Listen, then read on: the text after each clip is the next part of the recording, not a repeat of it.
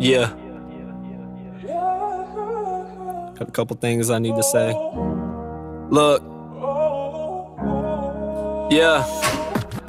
I'm doing fine, thanks for asking. I've been doing me in case you haven't checked the status. I'm just chasing my dreams and working real hard at it. I remember when this was something I once imagined. As a kid, I would have never thought that this would be my passion. They told me it wasn't meant to be, I told them I would make it happen. And that's exactly what I did. Now they say I'm bragging, they say I'm acting different. The only thing that ain't the same is my intuition. I still have the same style and the same intentions. I'll admit, I've been distant, I've been trying to keep my distance anyways, cause energy is not a game and if it ain't the same, then I will not pay a visit. I pay attention to my time and I watch the way that I spend it. I cannot afford to waste a minute. I gotta stick to my guns and stack up on this ammunition. I got too much going for me, why would I wanna yeah. change my position? Things will never be the same, but that don't mean that I can make a change. I've been out here grinding every day, looking for myself, trying to find a way. On a journey filled with purpose, determined to return in a better mind state. And by the way, I appreciate the compliments, but honestly, y'all gotta stop comparing me to these other artists, cause we are not the same. And the ironic thing is I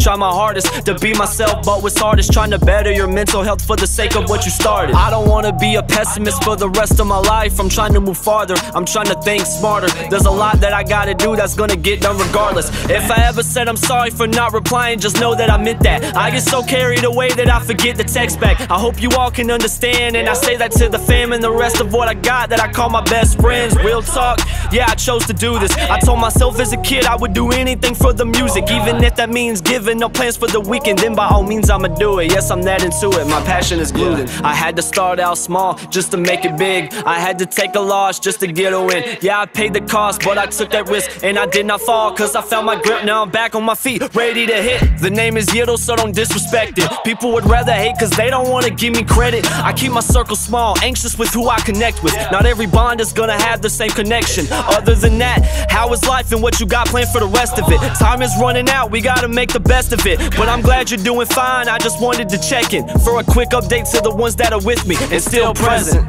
Yeah. That's facts. I've been doing me recently, you know? I ain't forgot about you. If I ain't been in touch recently, don't take it personal. No. That's on God.